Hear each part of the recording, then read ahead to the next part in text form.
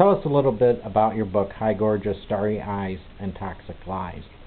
Hi Gorgeous is uh, my true story involving the odyssey that I took into the world of online dating fraud and the emotionally abusive marriage that resulted from that. Those two words, Hi Gorgeous, those are the words with which my former husband penned his first email to me. Your memoir is a true life cautionary tale about online dating fraud. What initially compelled you to try online dating?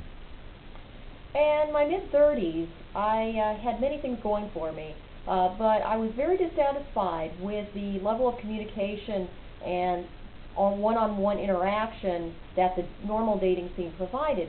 And I perceived online dating to offer me an option to hand-pick potential mates from a variety of different profiles where everybody had their picture up, cards laid out on the table. But what I didn't understand is that the security of the computer screen permitted my former husband, as well as many other con artists, the opportunity to pretend that there's something that they're not. What type of lies were you told? I was told that uh, he was a former Navy SEAL. I was told that you know he had he claimed he laid claim to three Purple Hearts. Uh, spoke several times about the various and sundry combat missions that never existed for him. Uh, I was told that uh, he was only married once before, not twice. Jack Cass, the man you met online and later married, became abusive towards you in several ways. Of the different types of abuse, emotional, physical, verbal, sexual, financial, which affected you the most? Without question, it was emotional abuse for a couple different reasons, not the least of which is the fact that emotional abuse, unlike physical, tends to leave scars that remain. Uh, when people are punched and kicked with words and nefarious control tactics, those are scars that do not leave very easily. Another reason why the emotional abuse affected me most is the fact that I had trouble, like many do today, taking emotional abuse seriously. Many people like to see evidence of harm, scars, bruises, cuts, and scrapes, and you don't see that with emotional abuse. So it was even hard for me to take it seriously. Some readers may be surprised to learn that you willingly posed in a bikini for Jack's Biker Babe website. Why did you do that, and do you regret in any way? Chose to uh, pose for his website primarily because he had built me up with a lot of flattery and compliments to my physical appearance and to my body. When we first got married, he asked if if I had ever considered modeling, and that's what initiated uh, his website. And I willingly posed for it because I saw it as an opportunity to balance my intellectual legal side with a fun, sexy, playful aspect of my personality. And do I regret it? No, I, I, I don't regret doing that. I regret the dysfunction that it spiraled into because what happened was it became uh, an avenue for which my ex enacted more verbal abuse and denigration on me in terms of my body, uh, appearance, it became a method of control, and it was no longer fun. For a long time after Jack began abusing you, you stayed with him. Some readers might wonder why a seemingly intelligent woman, an attorney no less, would remain in that situation. Why did you stay? I stayed because, like many women in abusive situations, I was hoping that he would eventually seek some assistance professionally for his temperamental outbursts and for the pain that he was causing myself and for the pain that he seemed to be experiencing. But that never really came. And I stayed not only because I was hoping he would change, but also I was too ashamed to admit the severity of my situation. Uh, and I didn't want to start disclosing to people that my husband was uh, mistreating me. Mm-hmm.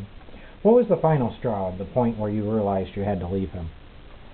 For me, the one of the final major red flags, not the only one, but it was the last major red flag, occurred one morning when I witnessed him uh, kill a family cat, a beloved pet, in a fit of rage.